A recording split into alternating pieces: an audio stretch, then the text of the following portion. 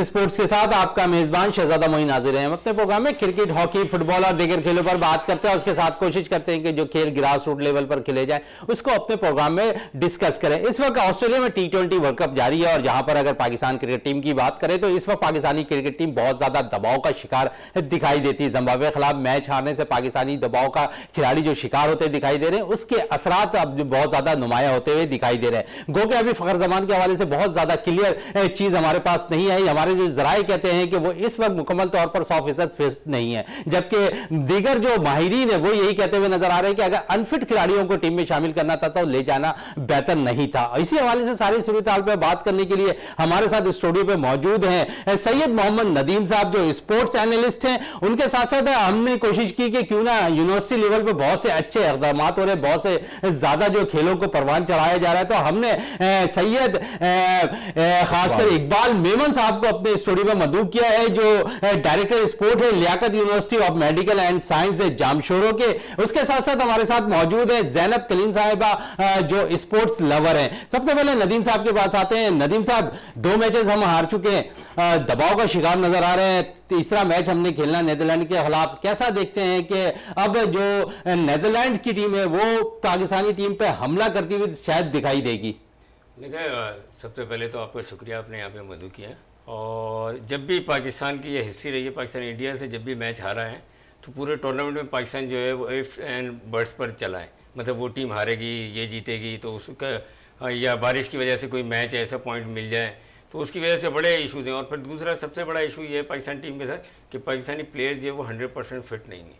शाहिन शाह, अफरीदी को आप देख लें, उस, वो भी अभी रिहेब के मरले से गुजर रहे हैं। और दो अच्छी बॉलिंग की उन्होंने शुरू के दो ओवर में, बाद में आपने देखा कि इंडिया के अगेंस्ट भी और फिर जिम्बाब्वे के अगेंस्ट जो सेकेंड रन ले रहे थे वो भी आप उनको अगर दौड़ता हुआ देखें तो बड़ा उनके नी में प्रॉब्लम नज़र आ रहा था। हॉबल कर रहे थे हाँ। लेकिन नदीम साहब हम देखते हैं कि अगर एनफिट खिलाड़ियों का टीम में शामिल होना है तो क्या बेहतर नहीं समझते जब लास्ट टाइम पे आपने फखर जमान का इंतखाब किया उस्मान कादिर को आपने बाहर किया उस्मान कादिर इस वक्त भी रिज़र्व प्लेयर के तौर पर जो है स्कॉट में का हिस्सा है। तो समझते ये नहीं थे कि इस वक्त अगर उस्मान कादिर अनफिट हो गए तो उन्हें मुल्क वापस भेज दिया जाता नए खिलाड़ी को पाकिस्तान से तलब कर लिया जाता।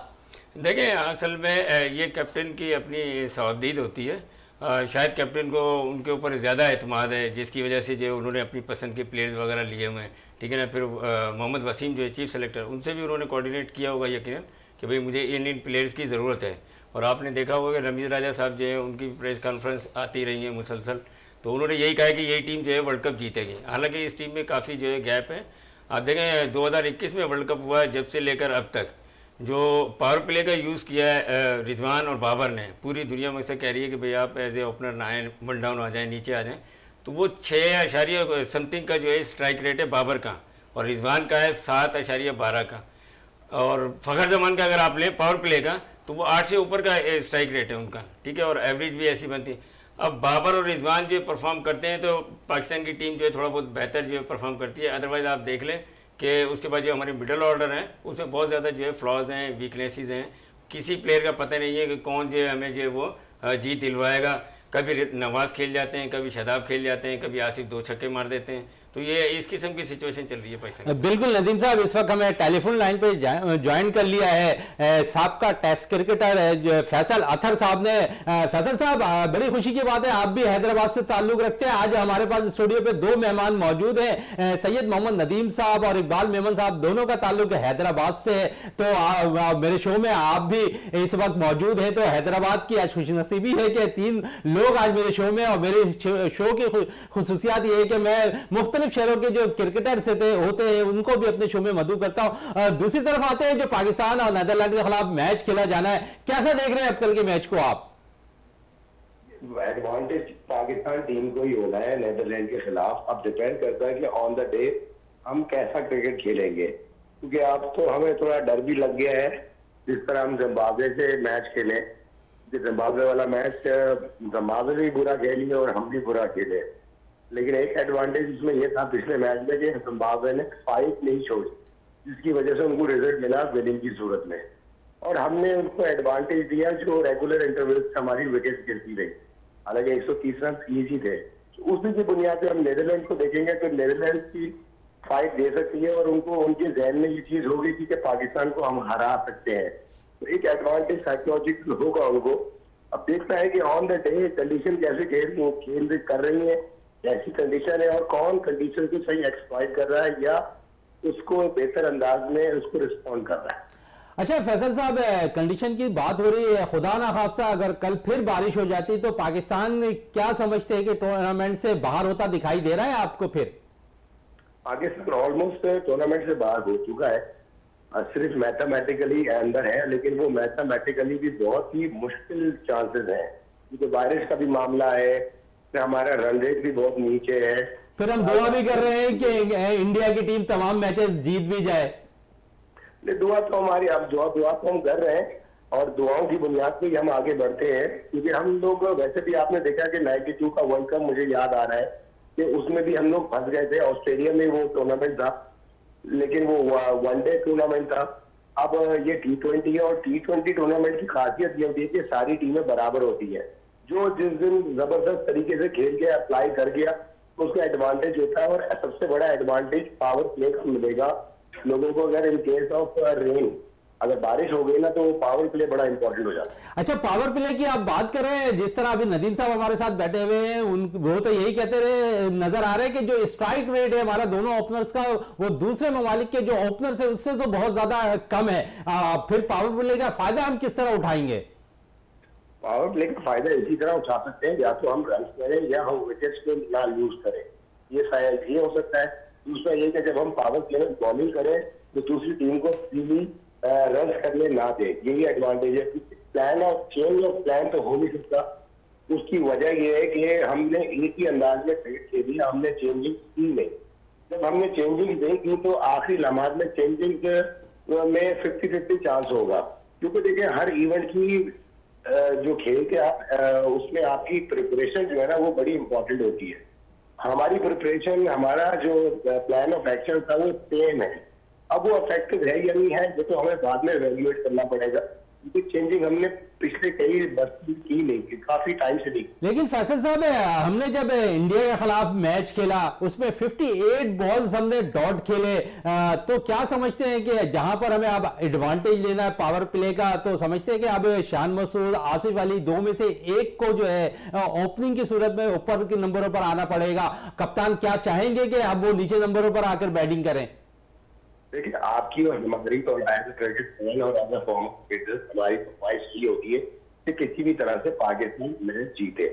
उसमें हम अपनी एक से ज़रूर दे रखते हैं अपनी ऑब्जर्वेशन के हिसाब से बयान नहीं करते थे, लेकिन फाइनल डिसीज़न आपको पता है टीम मैनेजमेंट नहीं अब उन्होंने जो डिसीज़न करना है वो नज़र आ रहा है, उसमें वो चेंज कर नहीं रहे। हाँ शान मसूद तो मेरे पास ऑप्शन है कि शान मसूद कर सकता है। अब right hand and left batsman का एक जो जनरल कंसेप्शन है, वो इम्प्लीमेंट हो सकता है और इफ़ेक्टिव भी हो सकता है। ये हमारे पास एक पुतला के। उसके बाद अगर फखर जमान अगर फिट हो जाते हैं तो वो वाइड प्लेयर रहते हैं, जो ऊपर के नंबर पे भी अच्छा खेल सकते हैं और वो नीचे के नंबर पे भी अच्छा खेल सकते हैं, क्योंकि वो स्पिनर्स भी अच्छा खेलते हैं। सो हमारे पास ऑप्शन मौजूद है। डिपेंड करता है ये टीम मैनेजमेंट के ऊपर कि वो कैसे जा रही है और किस प्लान के अंदर जाएगी। अच्छा आप तो टीम मैनेजमेंट की बात कर ली, थोड़ी सी बात हैदर अली के हवाले से कर लें। बहुत आउट ऑफ़ फॉर्म रहे फिर हमने देखा कि फाइनल में न्यूजीलैंड के खिलाफ उन्होंने अच्छी कारकर्दगी दिखाई साइड मैचेस में अच्छे मैचेस में रन करते दिखाई दिए। जब मैचेस स्टार्ट हुए तो हैदर अली फ्लॉप होते दिखाई दिए इस वर्ल्ड कप में। तो अब वर्ल्ड कप या वर्ल्ड कप के बाद उनको कैसा देख रहे हैं कि टीम में जगह बनाना उनकी मुश्किल दिखाई दे रही है अब आपको? देखिए, जितने भी प्लेयर्स पाकिस्तान टीम के अंदर खेलते हैं, वो प्लेयर्स अच्छे ही होते हैं तो वो टीम में जगह बनाते हैं। अब वो एक उनकी किस्मत है या उनका वो स्टेज में वो नहीं आ पा रहे जिसकी वजह से वो रन गए बैटिंग आप, हम सब जानते हैं कि ऑस्ट्रेलिया में चैलेंजिंग रही है और पाकिस्तान मैच में ही ऑस्ट्रेलिया में प्रॉब्लम रही है साउथ अफ्रीकन पिचेस और ऑस्ट्रेलियन कंडीशन दोनों ही चैलेंजिंग इस बैटिंग के लिए और बैटिंग हमारी बेस्ट स्ट्रगल करती है। अब हमारे पास ये भी ऑप्शन नहीं है जो पिछली दफ़ा भी हमारी बात हुई थी कि आप सीनियर प्लेयर्स को अंदर डाल देते उनका भी कोई पास रिकॉर्ड ऑस्ट्रेलिया में इतना ज़बरदस्त नहीं है। सो हमारे पास हैदर अली की जब बात कर रहे हैं कि उनको रन करना पड़ेगा, एक चीज़ अच्छी हो रही है मैनेजमेंट की तरफ़ से कि आपको कंसिस्टेंट बेसिस पे चांस दिया जाता है।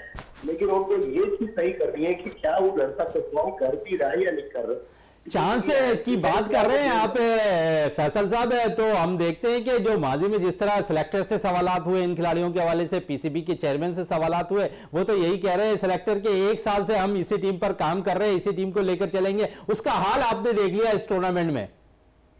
तो इसलिए तो मैं आपसे कहा कि उनका एक सर्टन प्लान है, वो अपने प्लान के थ्रू ही जा रहे हैं। अब ये प्लान को वो कब रिव्यू करेंगे इसमें कब चेंजिंग लाएँगे, ये उन्होंने अपना एक माइंडसेट बनाया हुआ है, ये आप एक फॉर्मूला बनाया हुआ है। वो अपने वक्त के हिसाब से ही रिव्यू करेंगे ये डिसीज़न तो उन्हीं के पास है। हम इसमें अपनी ऑब्जर्वेशन के हिसाब से अपनी राय दे ज़रूर रख सकते हैं। अगर उनके काम तक पहुँच जाती है तो बहुत ज़बरदस्त हो जाएगा, क्योंकि आप और हम और टीम मैनेजमेंट भी यही चाहती है और प्लेयर्स भी यही चाहते हैं कि हमारी टीम जीते और वो लोग परफॉर्म करें। दुनिया का कोई प्लेयर ऐसा नहीं है जो ये जो ये चाह रहा हो कि वो परफॉर्म ना करे। लेकिन क्या वो कंडीशन उस प्लेयर की एबिलिटी और स्किल के हिसाब से मैच कर रही है? हमें यहाँ पर स्मार्ट डिसीज़न लेना पड़ेगा और ये टेस्ट है एबिलिटी और कॉम्पिटेंसी का। अच्छा फैसल साहब अगर पाकिस्तान इस टूर्नामेंट से बाहर हो जाता है तो क्या बाबर आज़म को टी ट्वेंटी क्रिकेट से जो है रिटायरमेंट ले लेनी चाहिए अब? नहीं मैं नहीं समझता कि बाबर आज़म टी ट्वेंटी से रिटायरमेंट लेना बाबर आज़म को बैठना चाहिए क्रिकेट में हार नसीब तो होती है। लेकिन जो लोग अपनी गलतियों को रिव्यू करते हैं और उसको सही कर आगे बढ़ने की कोशिश करते हैं तो उनसे हम उम्मीद रखना सकते हैं कि वो लोग आगे फ्यूचर में बेहतर काम कर सकेंगे। अगर वो लोग जो मुसलसल गलतियों पे गलतियाँ करते रहे और अपने आप को रेक्टिफाई नहीं करें, सही ना करें तो फिर उनसे उम्मीदें जो है ना, वो खत्म होना शुरू हो जाती है। तो बाबर आज़म को टीम में रहना चाहिए, लेकिन उनको चाहिए कि पाकिस्तान को जिस जगह पे ज़रूरत है, उस जगह पे वो खेले। और लीड करें फ्रॉम द फ्रंट और जो ओपनर्स हैं, उनको बनाए Babar Azam as leadership quality को इम्प्रूव करना पड़ेगा। उनकी अपने डिसीज़न मेकिंग को इम्प्रूव करना पड़ेगी कि कब किस कंडीशन में, किस प्लेयर को मैं यूटिलाइज करूँगा। अब हमने रिसेंट पास में देखा कि काफ़ी प्लेयर्स जो है ना, वो यूटिलाइज हुए हैं। मिसाल के तौर पर पिछले मैच में नवाज़ से आपने बॉलिंग भी कराई। आपको ये देखना होगा कि अगर एक इंडिया के खिलाफ जो मैच था, उसमें इफ्तार अहमद ने अच्छी बैटिंग की थी तो हो सकता है वो उनका दिल था तो उनसे एक दो ओवर करवा लेते। अगर वो करवा लेते तो आखिर में हमें नवाज़ से बॉलिंग नहीं करवाना पड़ती और ना ही उसको ये फोकस करना पड़ता कि मैं फास्ट बॉलिंग करूँ। सो आपको ये कैलकुलेशन कब किसको कैसे यूज़ करना इन चीज़ों को सीखना पड़ेगा। और थोड़ा सा स्ट्रॉन्ग होना पड़ेगा लीडरशिप क्वालिटीज को इम्प्रूव करना पड़ेगा। बिल्कुल डिसीज़न को बहुत ज़्यादा स्टैंड करना पड़ेगा यकीन बाबर आज़म को भी बहुत बहुत शुक्रिया। फैसल अतर साहब आपका विनर्स स्पोर्ट्स में टाइम देने का नदीम साहब, जिस तरह फैसल बात कर रहे थे, बाबर आज़म की कप्तानी के हवाले से तो समझते हैं कि टी ट्वेंटी क्रिकेट ये शायद उनके लिए कप्तानी आखिरी दिखाई दे रही है आपको, क्योंकि अब तो हर कोई उन पर सवालिया निशानात कप्तानी के हवाले से उठाता हुआ नज़र आ रहा है। देखिए, आपके पास चॉइस नहीं है। बाबर आज़म के अलावा अगर देखा जाए तो चॉइस क्या है आपके पास? शान मसूद, वो अभी आए हैं, ठीक है शादाब खान, ठीक है ना? ये दो तीन प्लेयर्स ऐसे हैं जो एज ए कैप्टन जो है वो अपनी अपनी जो है पी में भी टीमों की कप्तानी करते रहे हैं और कर रहे हैं। और शान मसूद ने तो इंग्लैंड में भी किए हैं। असल इशू जो है पाकिस्तान का वो है मिडल ऑर्डर ठीक है ना? आप जब सरफराज कप्तान थे तो आपने देखा होगा कि सरफराज के पास हफीज़ और शुएब मलिक जैसे प्लेयर्स थे। तो उस टाइम पर सपोर्ट हासिल हो रहा हाँ, था। बिल्कुल। तो अगर हमारे हमारे ओपनर जो फ्लॉप होते थे तो वो नीचे से आके रन किया करते थे। तो ये आसिफ और ये शादाब ये भी थोड़ा बहुत यानी टाइम चाहिए इनको हाँ, मिडिल ऑर्डर हमारे पास एक मुस्तनद कोई मिडिल ऑर्डर मौजूद नहीं मुस्तनद मिडिल ऑर्डर नहीं है। इकबाल मेमन साहब जिस तरह थोड़ी सी बात हम पहले क्रिकेट के हवाले से आपसे कर लें फिर हम दूसरी चीज़ों पर आएँगे। एचएससी के हवाले से भी बड़ा ज़बरदस्त काम हो रहा है। तो क्रिकेट के हवाले से आप बात कर रहे थे हैदराबाद से ताल्लुक रखने वाले फैसल अतर हमारे साथ टेलीफोन लाइन पे थे। उनके साथ भी काफ़ी जाती हुई। सब पहले तो जाति के हवाले से बात कर लें फैसल के साथ जो जाती हुई क्योंकि आप भी हैदराबाद से ताल्लुक रखें। ज़्यादतियाँ तो जो है सिर्फ़ स्पोर्ट्स में नहीं, बल्कि हर शोबे में होती हैं और छोटे शहरों के साथ ज़्यादती कुछ ज़्यादा ही हो जाती हैं। और फैसल साहब बहुत अच्छे क्रिकेटर रहे हैं और बहुत अच्छा बोलते भी हैं, उनके कमेंट्स भी बड़े जो है, वो वैलिड भी हैं और विजडम के साथ भी हैं। जो भी अभी मैंने इनकी बात सुनी, बहुत ज़बरदस्त उन्होंने नपी तुली बातें की। देखें ये इश्यूज़ तो हैं मगर एक चीज़ मैं मैं थोड़ा सा डिफरेंट सोचता हूँ बिल्कुल और पॉजिटिव सोचता हूँ। Pakistan as a game India के साथ बेहतरीन गेम हुआ है। और जब दो पाएगी टीमें एक दूसरे के साथ खेलती हैं तो उसमें थोड़ा सा आखिर में आके लक की ज़रूरत होती है। थोड़ी दोनों टीमें नर्वी होती हैं और हमारी टीम कुछ ज़्यादा नर्वी थी ठीक है? तो जब नर्वस हो जाते हैं तो फिर उसमें थोड़ी सी वो हो जाती और फिर हमने उसके ऊपर माजरत के साथ कुछ प्रेशर ज़्यादा डाला, जो क्योंकि पूरी कौम जो है, वो एकदम सटपटा गई कि ये हार कैसे गए। और उसके बाद वो जम्बावे के ख़िलाफ़ आप, आपको वो प्रेशर भी नज़र आया। तो मैं समझता हूँ कि कुछ भी है, हमें अपनी टीम को सपोर्ट करना चाहिए। और जिस तरह शाह साहब ने बात की कि हमारी मिडिल ऑर्डर मीडियोकर है। और इतनी एक, एक्स्ट्रा ऑर्डनरी नहीं है जिस तरह बाबर और रिजवान हैं। भले वो स्लो खेलते हैं लेकिन वो हाई अचीवर्स हैं और हमें टीम को सपोर्ट करना पड़ेगा। बॉलिंग में इंडिया और पाकिस्तान तकरीबन बराबर थे लेकिन बैटिंग में उनको एज हासिल है हमसे। उनके पास जो असल में जो खिलाड़ी हैं जो रेड लाइन क्रॉस करते हैं वही दो रह गए थे चार विकटों के बाद। तो हाँ कप्तानी पे हम क्वेश्चन बात कर सकते हैं लीडरशिप पे डिसीज़न मेकिंग पे। शायद वो ज़्यादा नर्वस हो जाते हैं कंपेयर टू रोहित शर्मा। तो ये चीज़ नज़र आई। मैं समझता हूँ कि अगर वेस्ट इंडीज़ की टीम तो खैर बाहर होगी, लेकिन ऑस्ट्रेलिया की टीम होती तो वो किल के लिए जाती, चार विकटों के बाद। तो हमने उनको बहुत ज़्यादा टाइम दे दिया और इस वजह से आखिर में आके हम भी पैनिक हो गए बिल्कुल आखिर में आके हम भी पैनिक हुए और मैच हार गए।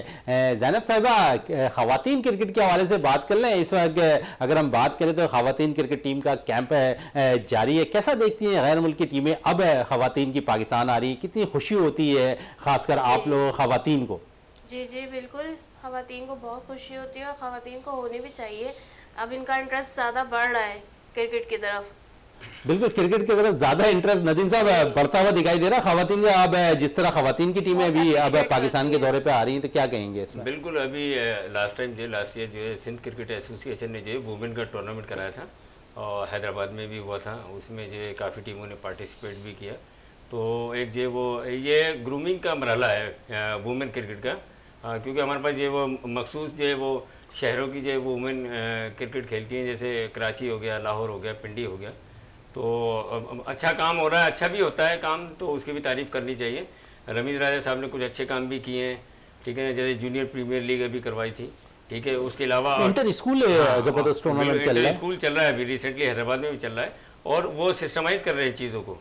मतलब पहले आपके अंडर थर्टीन फिर सिक्सटीन नाइनटीन फिर सेकेंड इलेवन फिर फ़र्स्ट इलेवन तो ऐसे करके बच्चा जो है ऑटोमेटिक ऊपर जाता जाए पहले क्या होता था कि अंडर जो है नाइनटीन पहले हो जाती थी ठीक है बाद में अंडर सिक्सटीन हुआ करती अब जो अंडर सिक्सटीन में बच्चा ओवरेज होता था तो अंडर नाइनटीन खेल नहीं पाता था।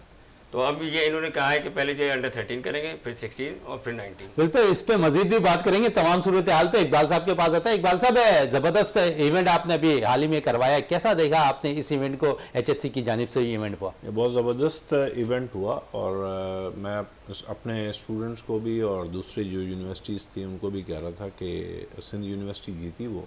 इवेंट मैरान यूनिवर्सिटी से। लेकिन चारों सेमीफाइनल जो टीमें थी वो बेहतरीन खेली। सिर्फ़ वही वाली बात हुई कि आखिर में आगे जो नर्वस हो जाते हैं बच्चे तो उस वजह से वो प्रोफेशनल टच जो था वो सिंध यूनिवर्सिटी के पास कितने साल के बाद ये इवेंट मुनद हुआ है इकबाल मेमन साहब? ये आ, हर साल होता है। हर साल होते हैं। ये ये जो हायर एजुकेशन कमीशन जो है ना इनके प्रोग्राम्स हर साल होते हैं। रेगुलरली और रेगुलरली होते हैं। और अभी हम जा रहे हैं इंटर यूनिवर्सिटी फ़ीमेल के लिए और वो पूरे पाकिस्तान से हमारे पास आएँगे। तो ये रेगुलर होते हैं। हाँ जो लास्ट ईयर जो हुआ था वो उसमें एक गाला जो था ना वो ये मैं हाँ, चीज़ आपसे पूछना हाँ, वो गाला था जो कामयाब जवान प्रोग्राम के तहत हुआ था उसमें हमने स्कॉश करवाई थी तो वहाँ पे तकरीबन चौदह स्पोर्ट्स हुई थी मुख्तलिफ़। हुई तो सात थी लेकिन ये मेल फीमेल को मिला के तो वो वो एक अलग नोयत की चीज़ थी और उसमें एनर्जी ज़्यादा थी, इलेक्ट्रीफाइंग माहौल था फ़र्स्ट डे पे।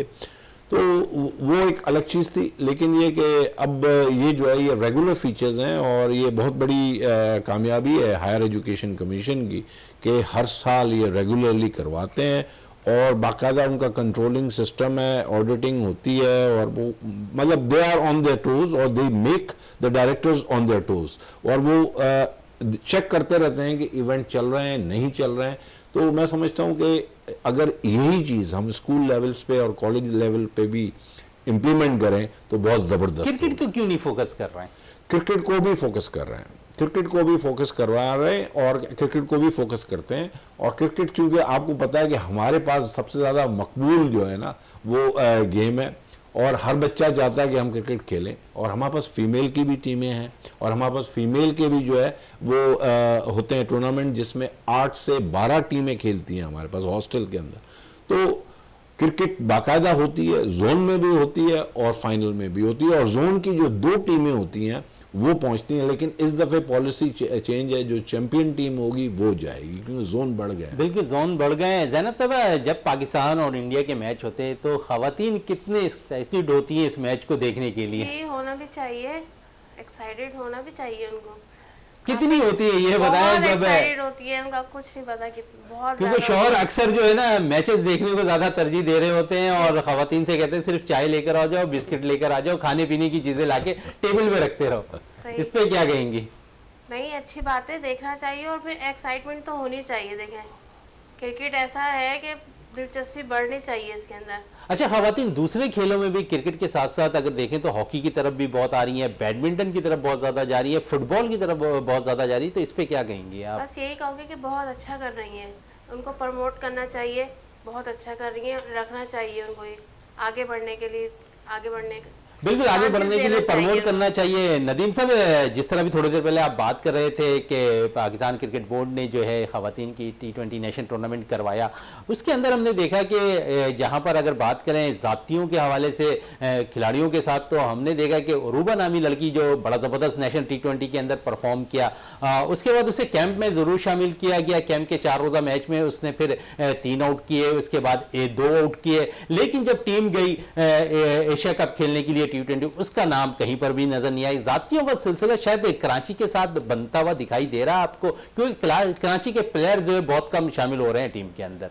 अब मेन टीम के अंदर अगर आप देखें तो एक ईशान मसूद हैं जो कराची से ताल्लुक़ रखते हैं, और दूसरे हसनैन हैदराबाद से। अदरवाइज़ पूरी टीम जो वो मकसद हमारे प्यारे पाकिस्तान के इलाकों से हैं। ठीक है ना? जो आप बता रहे हैं ज़्यादा का, ये असल में फीडबैक जो ज़्यादातर लिए जाते हैं, ये कोचिंग से लिया जाता है। अब वो कोचेज जो है वो जिस प्लेयर को फेवर कर देते हैं वो प्लेयर ऊपर चला जाता है।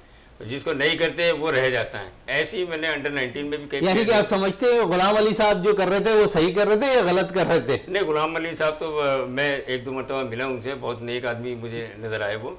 आप देखें कुछ सिस्टम का भी एक वो होता है ना कि सिस्टम में लोग चल रहे हैं तो किसी की यानी कि सिस्टम को लेके चलना चाहिए हाँ। आपका कहना ये कि सिस्टम के साथ चलना चाहिए। सिस्टम पे ज़रूर बात करेंगे। इस वक्त वक्फे के लिए कहा जा रहा है वक्फे से वापस आते हैं तो गुफ्तगु को मस्जिद जारी रखते हैं।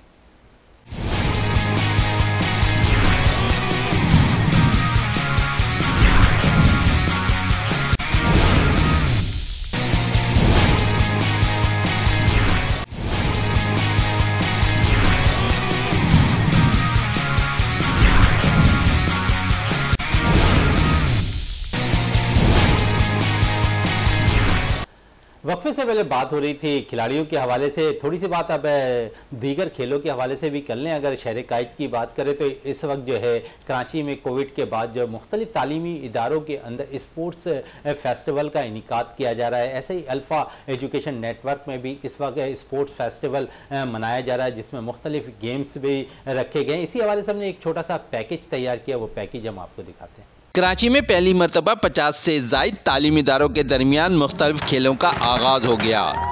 अल्फ़ा एजुकेशन नेटवर्क के जेर तमाम शुरू होने वाले पाँचवें स्पोर्ट्स फेस्टिवल में शहर भर से साढ़े छः हज़ार तलबा और तलबात मुख्तलिफ़ खेलों में अपनी कारकर्दगी का मुजाहरा कर रहे हैं। फेस्टिवल की अफ्ताही तकरीब रंगारंग अंदाज में हुई। Director alpha education Kashan Iqbal और कॉलेज प्रिंसिपल साइमा रजा ने इवेंट का बाकायदा अफ्ताह किया। कलरफुल गुब्बारे फिजा में छोड़े गए रंगारंग तकरीब में जिमनास्टिक का दिलकश मुजाहरा हुआ। छोटे बच्चों ने बेहतरीन करतब दिखाकर समा बाँध दिया। फेस्टिवल में मौजूद मुख्तलिफ़ तालीमी इदारों के शुरा ने भरपूर दाद दी। इस मौके पर डायरेक्टर टूर्नामेंट काशान इकबाल ने कहा कि प्लेयर्स खेलों के ज़रिए ज़िंदगी की बुनियादी असूल सीखते हैं। इनमें हार जीत का जज्बा पैदा होता है। अब देखिए पूरा दिन बच्चे एकेडमिक्स में लगे हुए होते हैं तो फिर आ, उनके लिए ऐसी एक्टिविटीज़ ज़रूरी हैं कि वो ग्राउंड में निकलें स्पोर्ट्स खेलें और स्पोर्ट्स प्रमोट हो पाकिस्तान में। क्योंकि स्पोर्ट्स बेसिकली बच्चों को ऐसी चीज़ें सिखा रहा है जो वो अपनी शायद क्लास में नहीं सीखते। बच्चों को हारना सिखा रहा है टॉलरेंस सिखा रहा है शेयर करना सिखा रहा है जो हमारी कॉम में से ये सब चीज़ें कम होती जा रही हैं। तो इसकी प्रमोशन भी ज़रूरी है। जबकि कॉलेज प्रिंसिपल साइमा रजा ने कहा कि ये पांचवा अल्फ़ा स्पोर्ट फेस्टिवल है, जिसमें हर साल मुख्तलिफ़ खेलों का इजाफा होता जा रहा है। इस मरतबा चार नए खेल रखे गए हैं। जी अल्फ़ा एजुकेशन नेटवर्क हर साल की तरह इन्होंने इस दफ़ा भी अल्फ़ा स्पोर्ट्स फेस्टिवल का इनका किया है और ये अल्फ़ा स्पोर्ट्स फेस्टिवल, ये हमारा समझें कि फ़िफ्थ ईयर है कि एनुअल स्पोर्ट्स फेस्टिवल है।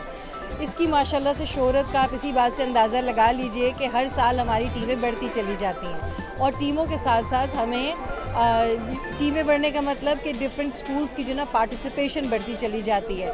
तो लोगों को इसमें पार्टिसिपेट करके वो जितना इन्जॉय करते हैं आ, इस कंपटीशन में कि उनके लिए हमें हमारी पूरी टीम है, हमारी जो स्पोर्ट्स की पूरी टीम है, हमारे जो कोऑर्डिनेटर्स हैं, हमारे डायरेक्टर्स हैं, ये पूरी हमारी टीम है जो कि बैक एंड पे काम कर रही होती है। और सच पूछिए तो अल्फ़ा की खूबसूरती यही है कि हमारे इतने सारे डिपार्टमेंट्स हैं कि वो अपने अपने उसमें काम कर रहे होते हैं और फिर बैक एंड में बस हमसे वो लोग आके हम लोग मीटिंग्स करते हैं और बड़ा ऑर्गेनाइज तरीके से चल रहा होता है। ये लोग अब ये जब जैसी फेस्टिवल ख़त्म होगा तो वो बस कल से समझें कि वो नेक्स्ट डे से स्टार्ट कर देंगे प्लानिंग नेक्स्ट ईयर की कि इस दफ़ा को वो बैठ के वैल्यूएट करते हैं और फिर वो नेक्स्ट ईयर की प्रिपरेशन शुरू कर देते हैं। तो इस वजह से मेरे ख्याल से यही वजह है इसकी कामयाबी की कि ये लोग आ, हर साल नई नई टीमें इसमें और ज़्यादा स्कूल्स पार्टिसिपेट करना चाहते हैं। हमें जो है गेम्स की फेस्टिवल में बॉयज़ और गर्ल्स के मुख्तलिफ़ कैटेगरीज में मुकाबले जारी हैं। इनमें 10 से 18 साल तक के तालब इम शरीक हैं। फेस्टिवल 13 नवंबर तक जारी रहेगा। Shahzada Moin Venus TV Karachi. Package आपने देखा, अब इसी पे थोड़ी सी बात कर लें, क्योंकि तालीमी इदारों से नदीम साहब का भी ताल्लुक है, उनके साथ साथ इकबाल मेमन साहब का भी ताल्लुक है। तो इकबाल मेमन साहब के पास आते हैं। इकबाल मेमन साहब, एक कैसा देखते हैं कि ऐसे तालीमी इदारों के अंदर अब इवेंट का इनका है, क्योंकि कोविड ने बड़ा मुतासर किया हुआ था हर चीज़ों को, और उसके साथ साथ खेलों की सरगर्मियाँ भी बहाल होती दिखाई नहीं दे रही थी। अब भरपूर मौका है, हम देखते हैं कि खासकर अगर कराची की बात करो तो इस वक्त हर स्कूल्स के अंदर हम देखते हैं कि स्पोर्ट्स फेस्टिवल का इनका किया जा रहा है। कैसा देखते हैं ये अल्फ़ा एजुकेशन नेटवर्क नेटवर्क के तहत जो इवेंट मुनद बहुत ज़बरदस्त है ये और बहुत इनक्रेजिंग है। और अगर ये कंसिस्टेंट हो राउंड द क्लॉक ईयर में जो है कम अज़ कम फ्राइडेज़ को या सैटरडेज़ को ये होते रहें क्योंकि देखें एक दफ़ा हो जाए जिस तरह एनुअल डे होता है या फाइव डे गाला होता है या फाइव या सिक्स डेज़ फेस्टिवल होता है वो ना काफ़ी है। स्पोर्ट्समैन आप, आपको डेली चाहिए जिसम जिसम के लिए जो है ना वो क्योंकि इसको हम कहते हैं हेल्दी लाइफस्टाइल और अगर आप बच्चे को हेल्दी लाइफस्टाइल नहीं देंगे तो फिर वो सिर्फ़ गेम्स इस पर खेलेगा मोबाइल पे। तो मैं समझता हूँ कि ये बड़ी ज़बरदस्त चीज़ है जो आपने जब बताई कि ये अल्फ़ा स्पोर्ट्स के हिसाब से जो ये बहुत इनकरेज ये तो अल्फ़ा एजुकेशन नेटवर्क में जारी है। इसके इवेंट इसके साथ साथ अगर हम देखें तो इस वक्त के एम सी स्पोर्ट्स कॉम्प्लेक्स पे भी शान शान पाकिस्तान के नाम से इवेंट हो रहा है जिसमें पचहत्तर स्कूल शिरकत कर रहे हैं और साढ़े चार हज़ार से जायद तलबा और तलबात इस टूर्नामेंट का हिस्सा है। क्या कहेंगे इस हवाले से? मैं एक तो पहले क्रेडिट दूँगा एडमिनिस्ट्रेशन को उन सब स्कूलों के। और ये उनको मुबारक जा, जाती है कि वो अपने बच्चों को लेके आ रहे हैं। और ये बहुत बड़ी कामयाबी है। ये शान जो पाकिस्तान, के शान पा, पाकिस्तान की जो ऑर्गेनाइजेशन है। तो मैं समझता हूँ कि ये बहुत इनक्रेजिंग है और इंटीरियर सिंध में भी और दूसरे सूबों में भी इस तरह की चीज़ें शुरू होनी चाहिए और गवर्नमेंट को कदम बढ़ाना चाहिए। गवर्नमेंट को कदम बढ़ाना चाहिए। नदीम साहब आप क्या कहेंगे इस हवाले से? देखिए, मैं तो ये कहूँगा कि जो हमारा गवर्नमेंट ऑफ़ सिंध है एजुकेशन डिपार्टमेंट है और तकरीबन चौदह पंद्रह हज़ार जो लोग जो उससे वाबस्ता हैं। कॉलेज एजुकेशन की मैं बात कर रहा हूँ स्कूल एजुकेशन अलग है। तो इनको चाहिए कि ये जो प्राइमरी जो हमारा सेक्शन है प्राइमरी से फ़िज़िकल एजुकेशन की क्लास जो है, एक लाजमी रखें हर बच्चे की। ठीक है, जैसे चाइना ने यूरोपियन कंट्रीज़ ने किया हुआ है। अंदर स्पोर्ट्स एक पूरी इंडस्ट्री बन गई है। अर्जेंटाइन आप देख लें ऐसा मुल्क है जिसके 500 से ज़्यादा फुटबॉलर जो है वो दुनिया की लीग खेलते हैं। अब वो हज़ारों लाखों करोड़ों डॉलर जो है वो लीग से लेकर वो अपने मुल्क के अंदर रेवेन्यू लेकर आते हैं। तो आप देखें उनकी इकोनॉमी कहाँ जाएगी। तो ऐसे हो सकता है हमें भी दो चार दो चार हर साल जो है ऐसे बच्चे मिलते रहें मुख्तलिफ़ खेलों के, मुख्तलिफ़ जो वो लेवल के ऊपर। तो उनसे मकसद ये कि हमें बहुत फ़ायदा होगा।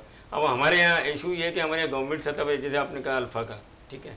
कि वो प्राइवेट इदारे तो करते हैं एनअली जो है उनका स्पोर्ट्स वीक भी होता है या जो भी है गाला वगैरह करवा लेते हैं। तो गवर्नमेंट लेवल पर साल में एक एक्टिविटी होती है इंटर कॉलेजेट हो गई या इंटर स्कूल पहले हुआ करते थे जब हम लोग खेलते थे नाइन्टीज़ में, ठीक है, लाड़काना में हुआ कराची में, उसके बाद वो ख़त्म हो गए। अच्छा उसके अलावा आप चले जाएँ सिंध गेम वो 2018 में लास्ट टाइम में मैं खुद चेफ डिवीज़न था, हैदराबाद डिवीज़न का, उसके बाद वो अभी तक नहीं हुई, यानी कि चार साल होने को आ गए। तो इस चीज़ पर जो है हमें फोकस भी करना चाहिए गवर्नमेंट को भी और देखने हालाँकि हमारे जो मिनिस्टर एजुकेशन है सैयद सरदार अली शाह साहब वो बड़ा अच्छा काम कर रहे हैं। मुख्तलिफ़ लेवल पर उन्होंने चीज़ों को जो है वो ऑनलाइन भी किया है। बच्चों की अटेंडेंस टीचर्स के ट्रेनिंग प्रोग्राम्स ठीक है तो ऐसी फ़िज़िकल एजुकेशन की भी जो है अगर वो क्लास रख दें तो कोई हर्ज नहीं है। कोई हर्ज नहीं है। जैनब साहब क्या कहेंगी तालीमी इदारों के अंदर जो है अब खेलों की सरगर्मियाँ बहुत ज़्यादा हो रही हैं। कैसा देखती हैं इसको? बहुत अच्छा और बिल्कुल सर ने बहुत अच्छी बात की है कि बच्चों के लिए इसका इंतज़ाम करना चाहिए। ताकि हमारे बच्चों को अवेयरनेस हो, उनके अंदर एक्टिविटी हो। फिज़िकली एक्टिविटी बहुत ज़रूरी है बच्चों के लिए। बिल्कुल फिजिकली एक्टिविटी बहुत ज़्यादा ज़रूरी है। नदीम साहब, जिस तरह थोड़ी देर पहले बात हो रही थी प्लेयर्स की नर्वस के हवाले से तो समझते हैं कि इस वक्त सबसे ज़्यादा अगर प्लेयर्स में हम देखें तो नर्वस तो बाबर आज़म ही नज़र आ रहे हैं, क्योंकि उनके खुद समझ में नहीं आ रहा है कि मोहम्मद नवाज़ से अवर भी कराना है ये नहीं कराना है। देखिए हमारे पास है मेंटोर भी रखे हुए इन्होंने फिटनेस ट्रेनर भी हैं। असल में एक सब्जेक्ट होता है बायोमैकेनिक्स ठीक है? अब उसमें क्या है कि खेलों में जो भी मूवमेंट होती है वो हम उस खेल के कानून के तहत करते हैं। मतलब उस, उसका कानून है फुटबॉल है ठीक है ना? अब, अब फिर उसमें मज़ीद चीज़ें आ जाती हैं। ये सारा ताल्लुक है हमारा माइंड से ठीक है? ना न्यूरो मस्कुलर कोऑर्डिनेशन हमारा दिमाग जो है कितना मज़बूत है कितना हम जो वो चीज़ों को बेयर करते हैं प्रेशर को हैंडल करते हैं। हमारे प्लेयर्स के अंदर इस चीज़ की कमी है बहुत ज़्यादा। क्यों? उनका फिटनेस लेवल वो कहते हैं ना sound body has a sound mind ठीक है ना? एक अच्छा जिसम अच्छा दिमाग रखता है। जब जिसमानी तौर पर फिट होते हैं तो हमारा माइंड भी जो है बड़ा फिट होता है। अब जैसे एक बॉलर है 150 की स्पीड से बॉल कर रहा है, और वही बॉलर जो 120 की स्पीड से कर कर देता है बॉल तो दोनों में रिएक्शन टाइम का फ़र्क आ जाता है। वो रिएक्शन टाइम कैसे अच्छा होगा? जब हमारी फिटनेस अच्छी होगी। तो ऐसे ही नमाज़ के साथ भी जो हुआ, आखिरी आठ बॉलों पे जो वो तो दो छक्के अच्छा क्या समझते हैं कि नवाज़ जिस तरह लास्ट ओवर इंडिया के खिलाफ करने आए थे, अगर वो कप्तान उनको मुकम्मल एतमाद में अगर ले लिया था कि आखिरी ओवर करवाना है उनसे तो उनको एतमाद देना चाहिए था, बजाय इसके कि मोहम्मद रिजवान पीछे होकर विकेट कीपरिंग करते हुए दिखाई दिया, उनको कहा कि तेज बॉल करें। वो डिस्टर्ब मेंटली तौर पर हुए और उसके बाद जो वो अपनी बॉल करना शायद जो मुझे लगा जितने अरसे से वो बॉल कर रहे जितने अरसे से मैं उनको रिसर्च कर रहा हूँ, शायद वो भूल गए। एक्स्ट्रा बॉल्स उन्होंने किए व्हाइट बॉल की सूरत में। तो अगर वो अपनी बॉल करते तो शायद वो सोलह रन बहुत ज़्यादा इंडिया पे भारी नज़र आते। बिल्कुल, देखें, आप जो है नवाज़ मैंने कभी नहीं देखा और आपने भी नहीं देखा होगा नवाज़ इतनी तेज़ गेंदे करते हो। ठीक है ना, कि कीपर इतना पीछे खड़ा हो। नवाज़ ने असल में क्या है कि नवाज़ जो वो थोड़ा घबरा गए, खौफ। ठीक है ना, और ये विराट कोहली ने भी अपनी उसमें मतलब उनकी वीडियो वायरल हुई है। उसमें उसने कहा कि हम खुद नवाज़ का वेट कर रहे थे कि वो कब आएँगे। ठीक है, मैंने हार्दिक पांड्या को ये कहा कि नवाज़ का भी एक ओवर बाकी है। तो उसमें हम जो वो देख लेंगे कि कितने रन लेने। तो नवाज़ ने जो लास्ट बॉल करना है, जिसमें छः लगाया जो नौ बॉल हुई है, वो उसको यॉर्कर करना चाह रहे थे। तो वो विराट कोहली, आपको पता वर्ल्ड नंबर वन बैटर रहे हैं और दुनिया में उनका एक अपना मकाम है। उन्होंने बॉल को पहले ही चेक कर लिया था। तो थोड़ा सा उन्होंने स्टेप आगे लिया और छः कर दिया उसको।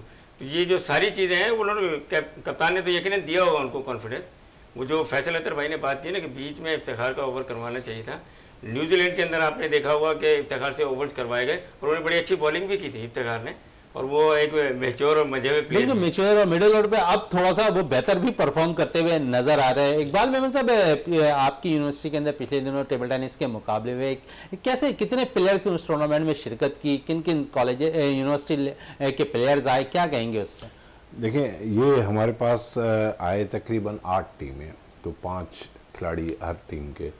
तो यह है कि बहुत ज़बरदस्त मुकाबला था और बेहतरीन गेम थी। मतलब अगर आपको मैं वीडियो शेयर करूँ तो आपको भी इसमें मतलब इन्जॉय करेंगे कि स्टूडेंट्स ने भी भरपूर उसमें ऑडियंस ने भी जो है हिस्सा लिया। तो बहुत ज़बरदस्त गेम थी और स्पेशली हमारे जो सेमीफाइनल्स थे वो बड़े टफ थे और तकरीबन जो है पाँच जने खेल रहे थे। मतलब रिवर्स सिंगल्स भी हो रहे थे। तो बहुत आला लेवल थी गेम की और ज़ाहिर सी बात है यूनिवर्सिटी में जो स्टूडेंट्स आते हैं, वो स्कूल और कॉलेज से खेल के आते हैं तो बहुत बेहतरीन मैार था और इन यहाँ से जो टीम जा रही है सिंध यूनिवर्सिटी वो वहाँ पे भी जाके फाइनल में अच्छा अच्छी कारकर्दगी दिखाएगी अच्छा इकबाल साहब आपके पास स्कॉश कोर्ट भी है। अगर हम देखें कराची के अंदर तो स्कॉश कोर्ट की बहुत ज़्यादा कमी है। आपके पास चीज़ें वहाँ पर मौजूद हैं। कितने प्लेयर्स स्कॉश के वहाँ पर आपके पास है जो है कोर्ट पर प्रैक्टिस करते हुए नज़र आते हैं? और क्या आप लोग वहाँ पर फैसिलिटीज़ उनको दे रहे होते हैं? या कॉलेज यूनिवर्सिटी की जो तलबा व तलबात है उनको कितना आप वहाँ हमारे पास तकरीबन जो है बीस से पच्चीस लड़के खेलते हैं और दस से पंद्रह लड़कियाँ खेलती हैं। और हम उनको बॉल और स्कॉश का रैकेट फ्राहम करते हैं। बाकी शूज़ और किट वो खुद ही लेके आते हैं। हमारा जब वुडन फ्लोर है और हम उनको ट्रेनिंग भी देते हैं। और जो हम टीम लेके गए थे इस्लामाबाद, वो हमने खुद ने ट्रेन किया था। जो मेरा कुलीग है, मुनवर भुट्टो, मैं तो हमने खुद ने उनको ट्रेन किया था और वो माशाल्लाह क्वार्टर फाइनल में खेले थे। और मेडिकल यूनिवर्सिटी के डॉक्टर्स अगर क्वार्टर फाइनल खेलें तो इसका मतलब वो फाइनल खेलें। तो ये बहुत बड़ी बात है।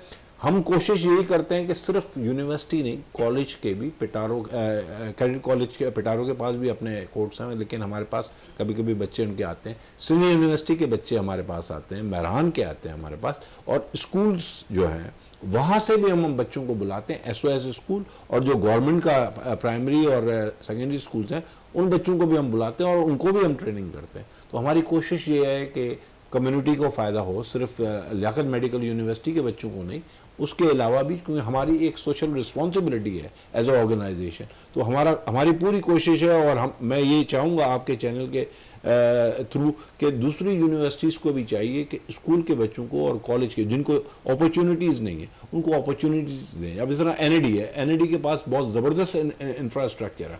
और वो ब्लू आइड बेबी वो ब्लू आइड बेबी भी है क्योंकि उनके चीफ मिनिस्टर साहब जो है वो अजय वहीं से पढ़े तो इसका मतलब ये नहीं है कि सिर्फ़ यूनिवर्सिटी के बच्चों को कॉलेज के बच्चों को और उनका चाहे स्कूल्स वहाँ पे बहुत हैं गुलशन में, उनको जो है वो अपने ऑन बोर्ड लें और उनको ट्रेनिंग कराएँ। बिल्कुल, इकबाल साहब नदीम साहब, कल पाकिस्तान को नैदरलैंड के खिलाफ मैच खेलना है। क्या समझते हैं, क्या प्लानिंग लेकर जाएँ? शाहीन शाह आफरीदी को अगर हम मुकम्मल तौर पर फिट नहीं है तो शायद उन्हें ड्रॉप कर कर मोहम्मद हसनैन को टीम में शामिल करना चाहिए। अगर हैदर अली से परफॉर्म नहीं होता है, हमारे बेंच पे खुशील शाह बैठे हुए हैं, उन्हें आजमाना चाहिए। समझते हैं कि, और फिर जो सबसे बड़ा सवालिया निशान इस वक्त बना हुआ है ओपनर्स के हवाले से, कि दोनों ओपनर्स बेहतरीन परफॉर्म करते हुए नहीं दिखाई दे रहे। ऑस्ट्रेलियन विकटों में शायद बहुत ज़्यादा डिस्टर्ब होते हुए दोनों बैटर्स नज़र आ रहे हैं, क्योंकि इनको बॉल्स खेलने में बहुत ज़्यादा प्रॉब्लम आए, और बहुत ज़्यादा जज भी दीगर जो टीम्स हैं उनके बॉलर्स करते हुए भी दिखाई दे रहे हैं। शॉर्ट पिच बॉलर पर बाबर आज़म की अगर बात करें तो बहुत ज़्यादा वीकनेस उन पर नज़र आ रही है। इस पर क्या कहेंगे आप? देखें कल जो नीदरलैंड से मैच है जैसे फैसल भाई ने भी ज़िक्र किया ये, ये आज वो आप न्यूजीलैंड का मैच देख लें। हालाँकि श्रीलंका ने तीन खिलाड़ी बहुत जल्द आउट कर लिए थे बारह या पंद्रह रन के ऊपर। उसके बाद उनके फिलिप्स आए उन्होंने जो वो सेंचुरी कर दी सौ छः रन कर दिए ठीक है एक प्लेयर्स की परफॉर्मेंस जो है वो टीम को जितवा देती है। हमारे पास ऐसे प्लेयर्स हैं ऐसी बात नहीं है कि नहीं है। कैसे नदीम साहब अगर हम देखें तो शान मसूद बड़ी ज़बरदस्त बैटिंग कर रहे थे। अगर देखते तो शायद वो मैच फिनिशर हमारे पास कमी है। जिस तरह माजी में हमारे पास मोहम्मद हफीज हुआ करते थे शोएब मलिक हुआ करते थे। लेकिन शायद मैच फिनिशर नहीं है क्योंकि अगर हम देखें तो शान मसूद अड़तालीस रन अड़तीस रन उन्होंने स्कोर किए। मैच फिनिश जहाँ करना चाहिए था वो मुकम्मल तौर पर बीट हुआ स्टम आउट हो गए। बिल्कुल देखें शान मसूद और शादाब जब खेल थे जब भी ऐसा लग रहा था कि वो मैच फिनिश कर जाएँगे उन्होंने बहुत ज़्यादा अवजलत पसंदी का मुजाहरा किया। एक सिक्स वो मार चुके थे, दूसरे पे फिर देखिए बॉलर जो है वो आपको रीड कर लेता है कि आप जो है कहाँ पर क्या करना चाह रहे हैं। ऐसे तो नहीं है, और इंटरनेशनल क्रिकेट खेल रहे हैं उसके अंदर कोई एक्सक्यूज़ नहीं होता कि भाई मेरे साथ ये प्रॉब्लम थी, वो थी। तो उन्होंने बॉलर ने उनको रीड किया और वो सेकंड बॉल पे आउट हो गए। उसके बाद जो वो पाकिस्तान की टीम का शराजा बिखरता गया और पाकिस्तान जो आखिर में एक रन से हार गया। ठीक है तो ये ये चीज़ें जो है, जो आप कह रहे हैं कि शान मसूद शान मसूद खेलने बहुत अच्छा है। पर अदर उनका वही जो है मैच फिनिशर नहीं है ना टी ट्वेंटी के मैच फिनिशर की ज़रूरत बहुत ज़्यादा है। जैसे शर्जील खान हुआ करते थे ठीक है वो गेम चेंजर थे कि वो तीस बालों पे जो है वो मतलब सत्तर अस्सी रन भी कर देते थे और कभी जो है वो अठारह बालों के ऊपर पचास भी कर देते तो ऐसे प्लेयर्स की ज़रूरत है टी ट्वेंटी के अंदर जो पावर प्लेयर का भी फिर मुकम्मल तौर पर फखर जमान है फिट नहीं है ये भी शायद पाकिस्तान को नुकसान होता हाँ। दिखाई दे रहा है। ये देखें फखर जमान है और उस्मान कादिर और शाहिन शाह। शाहिन शाह भी जो है अभी मेरे हिसाब में वो seventy two eighty percent fit हैं। उनका पूरा रिदम नहीं है, ठीक है? और पूरी फोर्स से वो बॉलिंग भी नहीं कर रहे हैं। वो एक्सपीरियंस की वजह से बॉल तो कर रहे हैं। और जो आपने कहा कि भाई जैसे हसनैन को खिलाना चाहिए हसनैन हसनैन जो है बड़े यूजफुल रहेंगे क्योंकि वो इन कंडीशन से बहुत ज़्यादा आ गए हैं। और लास्ट टाइम में भी वो वहाँ पर खेल भी रहे थे। खेले हैं बिल्कुल। हाँ उसमें भी अच्छा परफॉर्म किया था उन्होंने बहुत अच्छा किया था। तो हसनैन को मौका देना चाहिए बिल्कुल इकबाल साहब हसनैन की बात हो रही है तो जहाँ पर 146 से 148 की स्पीड से वो बॉल करते हैं मोहम्मद हसनैन ऐसी विकटों पर तो उनको बहुत ज़्यादा यूज़ करना चाहिए था लेकिन पाकिस्तानी मैनेजमेंट शायद क्या सोचती दिखाई दे रही है क्योंकि पहले मैच हमें चार बॉलर्स के साथ जाए था वहाँ पर हमने तीन बॉलर्स के साथ होते हैं फिर दूसरे मैच में हमने मोहम्मद वसीम जूनियर को खिलाया उसने बड़ी ज़बरदस्त बॉलिंग की चार विकेटें हासिल की।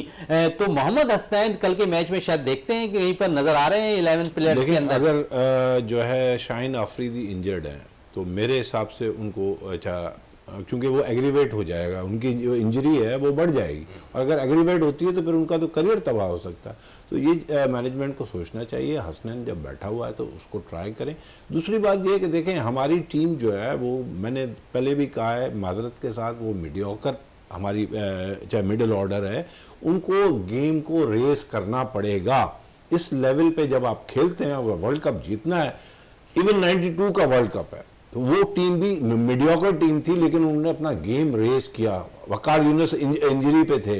तो इनको भी अपने गेम रेस करना पड़ेगा। बाकी इनके पास कोई भी चारा नज़र नहीं आ रहा। जैनब साहब जैनब साहब कल पाकिस्तान का मैच है आयरलैंड के खिलाफ। कैसा देखती हैं? क्योंकि अगर माहिरीन की बात कर लें क्रिकेट के हवाले से जो लोग सोच बूझ रखते हैं उनका यही कहना है कि पाकिस्तान 95 परसेंट टूर्नामेंट से बाहर हो गया। तो शाइकी क्रिकेट की आवाज़ है आप क्या कहेंगी इस पे? बस प्रे फॉर देवेंद्र ने कह दिया कि जो कुछ क्या कहेंगे नदीम भाई कल के मैच के हवाले आ, से नहीं अभी देखिए होप जो है होप फॉर द बेस्ट और बीइंग ए मुस्लिम उम्मीद पे दुनिया कायम है हमारे उम्मीद रखनी चाहिए और मुझे उम्मीद है कि पाकिस्तान कुछ अच्छा करेगा कल और बाकी आने वाले मैचेस में भी। हो सकता है देखिए बारिश का भी है वहाँ पर बहुत ज़्यादा कोई मैचेस ऐसे अगर बारिश हो गई नदीम भाई तो हम नहीं तो हमारे अगर मैच में हो जाती है फिर तो हम गए। फिर हमने हाँ, गए- रास्ता हमारे लिए वापस हाँ, से वतन गया है फिर जो है प्लेयर्स की भी छांटी होगी और उनके अकाउंटेबिलिटी भी होगी। सारी चीज़ें एक प्लेयर्स की छांटी की आपने तो बात कर ली कप्तान की छांटी के हवाले से आप बिल्कुल क्लियर नहीं कर रहे। हाँ देखिए कप्तान जो है ना उसने प्रीवियसली बहुत ज़्यादा परफॉर्म किया हुआ है। ठीक है ना? ठीक है कप्तानी के अंदर उनको एज ए कप्तान जो नया नया टास्क मिला था। ना कहा ठीक है अगर उनको कप्तानी से हटा के आप उनको एज ए प्लेयर लेकिन आपने बाबर की बात की कप्तानी के हवाले से अगर हम देखें तो माजी में जो है सरफराज अहमद ने बड़ी ज़बरदस्त कप्तानीशिप की की और पाकिस्तान को पहला कप्तान बना जिसने सीरीज़ तेरह जिताई। तो उसको आपने साइड लाइन कर दिया फिर बाबर आज़म की जगह बनी बाबर आज़म कप्तानी करते दिखाई दिए। क्या माइंड है? दोनों का चेंज नज़र नहीं आता आपको? बाबर अभी कप्तानी करते नज़र आ रहे हैं। अगर सरफराज की बात करें तो Sarfaraz under 18 under 19 under 16 under 15 ये- ये की कप्तानी बिल्कुल ये कप्तानी वो करते हुए फिर पाकिस्तानी टीम में कप्तानी की बहुत सी जगहों पे हमने देखा कि वो अपनी कप्तानी से मैचेस भी जिताते हुए दिखाई दिए। उन्होंने सीनियर्स को आगे किया गो के वो पीछे रह के लीड कर रहे थे टीम को। बिल्कुल सरफराज ऐसे प्लेयर थे जो डोमेस्टिक लेवल पे तो उनसे अच्छी परफॉर्मेंस किसी एज ए बैटर कीपर ने नहीं दी। पाकिस्तान की तरफ़ से चाहे वो उमर अकमल हो राशिद लतीफ़ हो सबसे कामयाब जो है कीपर बैट्समैन थे।